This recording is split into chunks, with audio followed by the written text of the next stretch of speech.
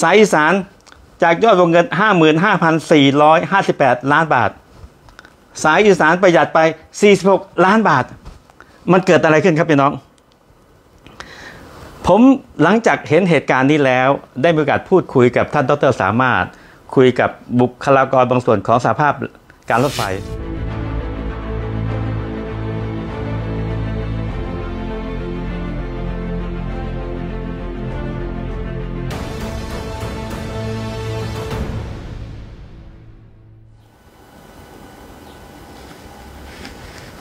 สวัสดีครับพี่น้องครับ วันนี้ผมมาคุยกับพี่น้อง ในเรื่องของการประมูลรถไฟทางคู่สองสายก็คือสายเหนือและสายอีสาน ซึ่งมีกระแสข่าวไม่ดีครับพี่น้อง มีกระแสข่าวกินตุตุว่าจะมีการเอาเงินของพี่น้องประชาชน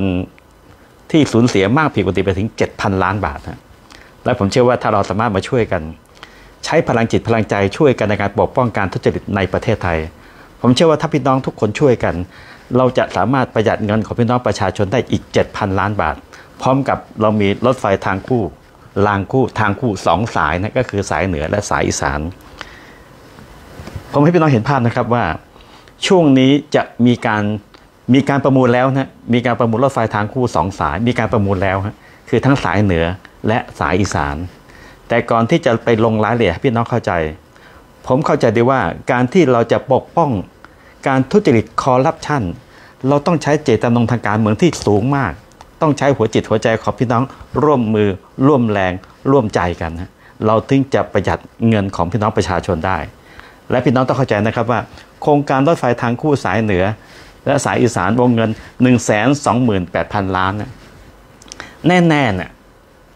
ถ้าทุกอย่างปล่อยไปตามนี้ เราจะเสียเงินไปฟรีๆ7,000 ล้านบาทครับพี่น้อง ดังนั้นเราต้องใช้ความเชื่อร่วมกันว่าเราสามารถปกป้องได้ครับ บนพื้นฐานที่ผมจะปล่อยคลิปนี้ให้พี่น้องรับชมครับ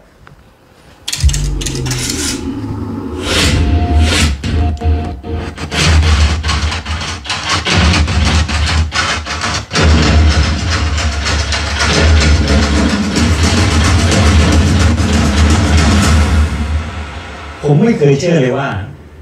การโกงจะทำให้ประเทศเจริญ แต่สิ่งที่ผมเชื่อคือ การโกงจะนำไปสู่ความล่มสลายของประเทศ และเป็นที่รับรู้กันทั่วไปว่า การโกงเป็นการสมรู้ร่วมคิดทั้งการเมืองและระบบราชการ ซึ่งเป็นที่โจทย์ค้านไว้ว่า ทุกหย่อมยาทุกอย่างมีที่หัวใจนะถ้าคุณไม่โกงเมื่อไหร่การจัดการปัญหาเหล่านี้แก้ไขได้ ดังนั้นประเทศไทยต้องโปร่งใสตรวจสอบได้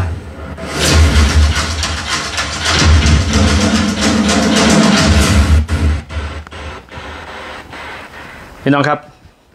วันนี้ผมมาคุยกับพี่น้อง เพื่อมาเชิญชวนพี่น้องมาร่วมกันปกป้องเงินของประชาชน 7,000 ล้านบาท ในการประมูลรถไฟทางคู่สายเหนือและสายอีสานที่ประมูลเสร็จไปเรียบร้อยแล้ว ผมเรียนกับพี่น้องนะครับว่าผมได้มีโอกาสได้พูดคุยกับท่านดร สามารถลาภพลสิทธิ์ซึ่งผมต้องให้เครดิตท่านดร สามารถนะที่ได้มีการพูดคุยกับผม แล้วก็ช่วยกัน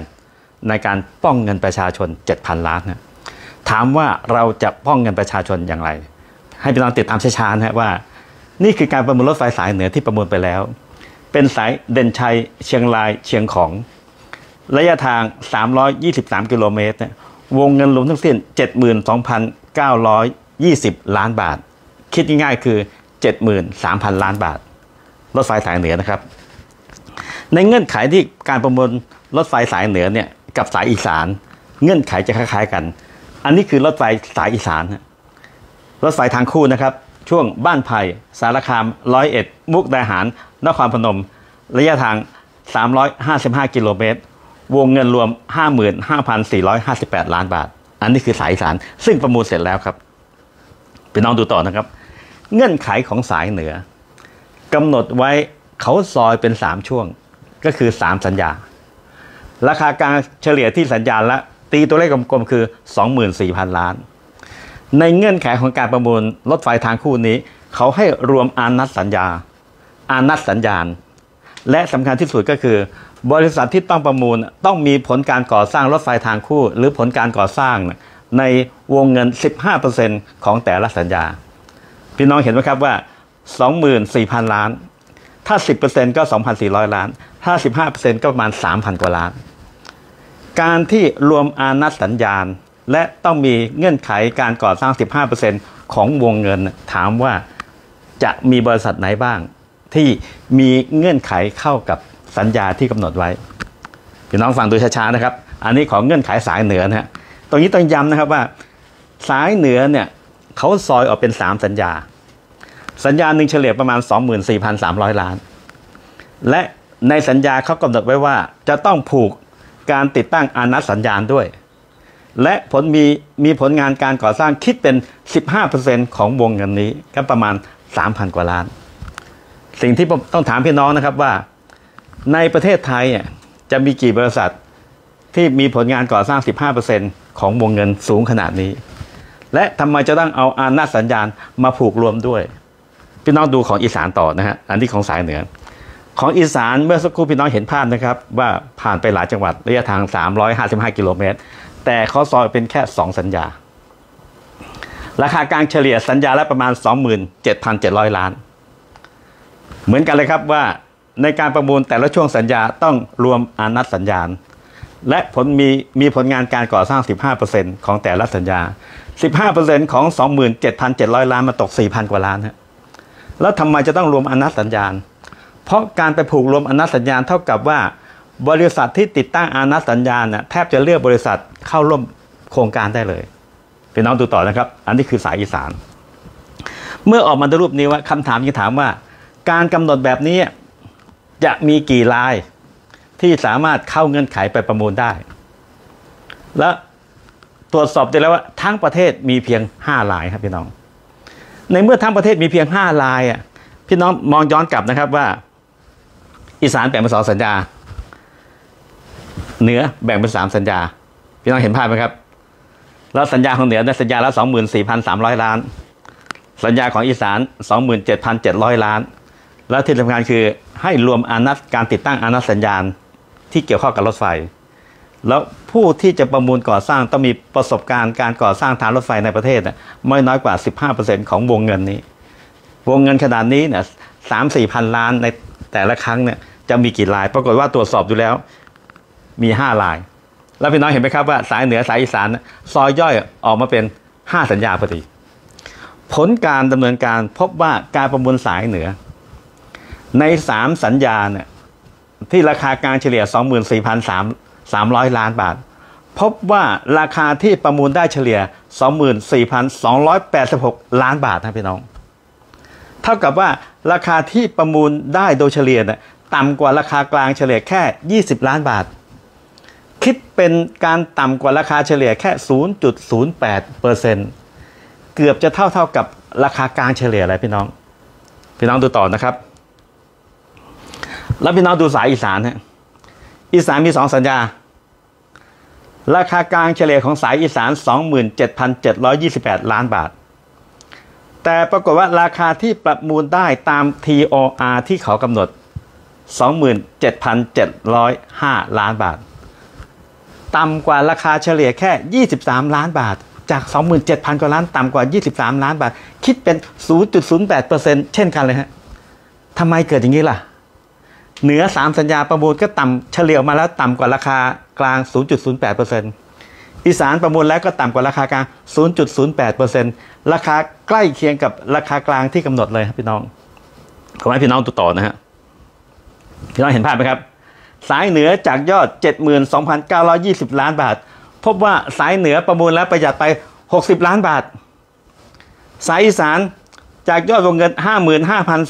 55,458 ล้านบาท สายอีสานประหยัดไป 46 ล้านบาท มันเกิดอะไรขึ้นครับพี่น้อง ผมหลังจากเห็นเหตุการณ์นี้แล้ว ได้มีโอกาสพูดคุยกับท่านดรสามารถ คุยกับบุคลากรบางส่วนของสหภาพการรถไฟ พี่น้องครับ เรามีข้อมูลเปรียบเทียบครับ ตอนสมัยยุคคอสชของลุงตู่นะฮะที่มีการประมูลรถไฟทางคู่สายใต้ฮะเพราะโครงการรถไฟทางคู่เนี่ยเราต้องยอมรับว่าเป็นเครดิตของรัฐบาลลุงตู่ที่ที่คิด เพื่อประโยชน์ของพี่น้องประชาชนในการขยายรถไฟทางคู่ มีการประมูลรถไฟทางคู่สายใต้ในปีพศ 2560 ช่วงเส้นทางนครปฐมหัวหินประจวบคีรีขันธ์ชุมพร ระยะทาง 420 กิโลเมตร วงเงิน 36,000 ล้านบาทพี่น้องดูต่อนะครับ เรามาดูที่ทางสายใต้เขาเคยทำเมื่อ 4 ปีที่แล้วเขาทำแบบไหนครับเขาปรากฏว่าเขาซอยเป็นสัญญาเล็กขึ้นฮะ ไม่ใช่สัญญาใหญ่ๆ เหมือนทางอีสานและเหนือสัญญาละสองหมื่นกว่าล้าน ทางใต้เนี่ยซอยออกเป็น 5 สัญญา ตกเฉลี่ยราคากลางเฉลี่ยสัญญาละ 7,200 ล้าน และเขาแยกพวกอานัดสัญญาต่างๆ ให้ไปประมูลแยกต่างหาก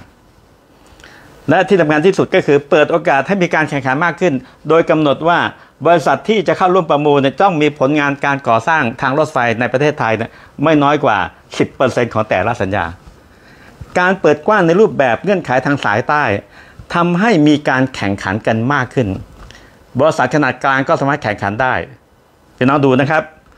เงื่อนไขแค่นี้เองเนี่ยทำให้เกิดการเปลี่ยนแปลงเรื่องราคา เพราะมีผู้ร่วมแข่งขันจำนวนมาก สิ่งที่เกิดขึ้นคือพี่น้องดูนะครับ ผลประมูลของรถไฟสายใต้ ที่ประมูลไปแล้วเมื่อ 4 ปีที่แล้ว ราคากลางเฉลี่ย 7,200 ล้าน ราคาประมูลเฉลี่ย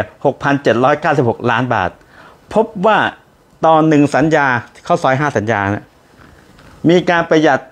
หรือราคาถูกกว่าราคากลางถึงประมาณเฉลี่ยออกมา 408 ล้านบาท คิดเป็นประเทศประหยัดภาษีไปเป็นเงินประมาณ 5.56%นี่คือราคาถูกลงพี่น้องดูภาพนี้นะครับว่า ดังนั้นเมื่อคิดในรูปแบบนี้แล้วเนี่ย ทำในเงื่อนไขของสายใต้ทางคู่สายใต้ ปรากฏว่าสายใต้จะประหยัดเงินไปถึง 2,000 โดยเฉลี่ยนะประมาณ 2,040 ล้านบาท จากยอดวงเงิน 36,000 ล้าน แต่ถ้าพี่น้องดูในภาพรวม สายเหนือไปจัดไปแค่ 60 ล้าน จากยอดเงิน 72,920 ล้าน สายใต้สายอีสานไปจัดไปแค่ 46 ล้านบาท จากยอดเงิน 55,458 ล้านบาท พี่น้องเห็นไหมครับ มันไม่ได้ยุ่งยากอะไรมากเลยครับพี่น้อง เพียงแค่คุณประมูลสายเหนือ คุณประมูลสายอีสาน โดยใช้เงื่อนไขของสายใต้มาประมูล ประเทศจะประหยัดเงินภาษีประชาชนไป 7,000 ล้านบาทนะเพียงแค่ให้กำหนดวงเงินในการก่อสร้างของแต่ละสัญญาว่ามีประสบการณ์การก่อสร้างคิดเป็น 10%ของสัญญา และตัดการแยกประมูลอานัดสัญญาออกแค่นี้เองครับพี่น้อง แค่ทำในเงื่อนไขแค่นี้เอง เราจะประหยัดภาษีของพี่น้องประชาชนไป7,000ล้านบาทครับพี่น้องครับคำถามถามว่า ถ้าเราจะประหยัดภาษีประชาชนไปอีก7,000ล้านบาททำไมการรถไฟไม่ทำและเงิน7,000ล้านบาทนี้ไปอยู่ที่ไหน ผมจึงขออนุญาต พูดคุยเรื่องนี้กับท่านพลเอกประยุทธ์ในฐานะท่านเป็นนายกรัฐมนตรีฮะผมไม่ทราบว่าท่านทราบเรื่องนี้หรือไม่ เพราะในอดีตที่ผ่านมาตอนที่ท่านเป็นคอสช ท่านประมูลรถไฟสายใต้ได้ดีฮะหลายท่านชื่นชม แต่เดิมเนี่ยมีแผนที่จะล็อกสเปคเหมือนกัน ผมมีโอกาสได้พูดคุยกับท่านดรสามารถ มีโอกาสที่จะล็อกสเปค ในเงื่อนไขสายใต้ ตอนนั้นก็ซอยเป็นสัญญาแค่ 3 สัญญา แล้วปรากฏว่าลายกลางที่มีฝีมือเข้าไม่ได้ เพราะกำหนดเงื่อนไขไว้เยอะกำหนดเงื่อนไขไว้ 15%กำหนดเงื่อนไขว่าจะต้องผูกรวม อำนาจสัญญาณ และตอนหลังมีการทราบเรื่องจึงมีการซอย และทำให้ประเทศชาติประหยัดเงินไป 2,000 ล้าน จาก 36,000 ล้าน ของเงื่อนไขการสร้างทางคู่สายใต้ แต่วันนี้อยากจะบอกท่านพลเอกประยุทธ์นะครับ วันนี้มาอีกแล้วนะครับ สายเหนือสายอีสาน กลับไปใช้เงื่อนไขที่ทำให้บริษัทขนาดกลางที่สามารถแข่งขันได้นะมีฝีมือแต่แข่งขันไม่ได้เนี่ยแล้วเกิดพฤติกรรมที่เอื้อประโยชน์หรือไม่ฮะ ประเทศชาติต้องเสียเงินอีกประมาณ 7,000 ล้านบาทเนะที่ผมต้องเอาเรื่องนี้มาพูดเพื่อต้องการจะประกาศบอกให้กับท่านพลเอกประยุทธ์นะครับ ท่านควรจะทราบเรื่องนี้ด้วยฮะว่ามันเกิดเหตุการณ์แบบนี้เกิดขึ้น ในการประมูลรถไฟสายเหนือและสายอีสาน และทำให้ประเทศชาติต้องเสียเงินประชาชนไปสูงถึงประมาณ 7,000 ล้านบาท ผมทราบข่าวว่าจะมีการเซ็นสัญญาประมาณเดือนกรกฎาคม และผมเชื่อว่าการที่เราจะช่วยกันในการปกป้องการทุจริตคอร์รัปชันเราต้องใช้เจตจำนงร่วมกันของพี่น้องประชาชนฮะอยากจะบอกพี่น้องประชาชนทุกคนช่วยกันนะครับ เราต้องช่วยกันนี่คือเงินของประชาชนทุกคน 7,000 ล้านบาทฮะเราประหยัดเงินไป 7,000 ล้านบาท เพียงแค่ประมูล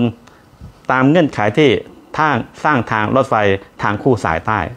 เราได้ทางรถไฟที่มีมาตรฐานเหมือนเดิมแหละแต่ประหยัดไป 7,000 ล้านบาทขอให้พี่น้องประชาชนเราช่วยกันนะฮะและถือโอกาสเรื่องนี้ เรียนท่านนายกรัฐมนตรีฮะท่านนายกทราบเรื่องนี้นะฮะและโปรดดำเนินการด้วยครับ วันนี้ขออนุญาตมาพูดคุยพี่น้องเพียงอีกแค่นี้นะครับ และเราเจอกันเรื่อยๆครับเพื่อปกป้องภาษีของพี่น้องประชาชนครับ วันนี้บ๊ายบายครับ สวัสดีครับ